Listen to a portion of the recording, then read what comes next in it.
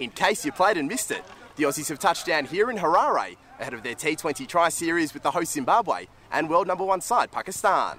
They arrived from the United Kingdom, where the ODI and T20 sides were whitewashed at the hands of a full strength England side.